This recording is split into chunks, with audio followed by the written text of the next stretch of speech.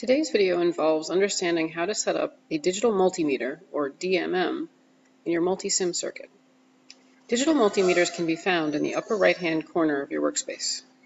The multimeter itself is the item at the top. You can click it once, drag the tool onto your workspace. Now, how we're going to be using them is we're going to use them to measure both voltage and current. Please note the value on the side doesn't show you anything related to units. In order to set your multimeter, you must double click on it first to bring up the actual display. You'll have options to measure amperage, voltage, resistance in ohms, and decibels as well. No other settings have to be changed here. I'm going to be using this meter to measure voltage across each of my resistors. So I'm going to set up the multimeter above each of my resistors. Click and attach it, one to each side of my resistor. I'm going to measure the voltage across. Now, for this one particular unit, I'll simply turn it on and show you what happens. So when I run my simulation, it takes a moment, but the display will show me the value of the voltage in the actual circuit. In order to place more meters, I'm actually going to turn this one off, put that away, and pull out some additional meters as well. When I want to measure voltage for each one, I'm going to grab one meter for each location. Again, I will attach the leads according to the values I have here.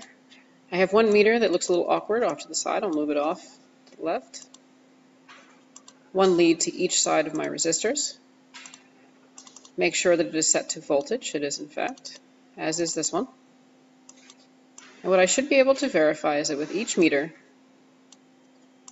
I can check the voltages I can measure. Notice that my previous calculation is already showing on my display. When I hit run again, it will simply update the values in case anything has changed. Notice that my values for my voltage for my first resistor, 1.397 volts, 2.984 volts, and then the third resistor, I have a negative 7.619 volts. The only reason this value is negative is because we think of conventional current in a certain direction. Notice that the positive negative connections here on your actual meter are reversed compared to the other circuits as well. If you'd like to fix that, you may. Otherwise, simply take the absolute value of your circuit. All you need to do is simply change your wires by deleting them and reverse the polarity of how you have it attached. So now when I hit run for a second time, please note that all of the values are now all positive. You'll want to verify your Kirchhoff's voltage law to make sure that all of the voltages you've found match the total voltage from your source. Now to measure current in a series circuit, or any circuit. You'll need one additional meter here.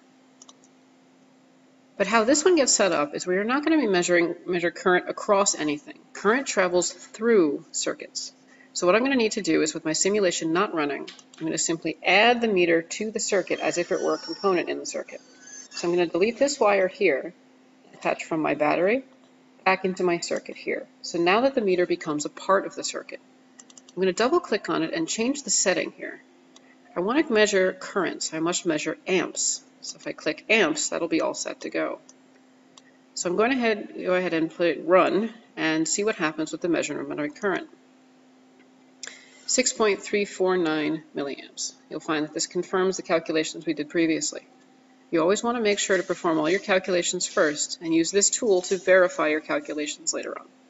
This is how you enter a digital multimeter into a circuit to measure current. The other meters were set up to measure across resistors for voltage.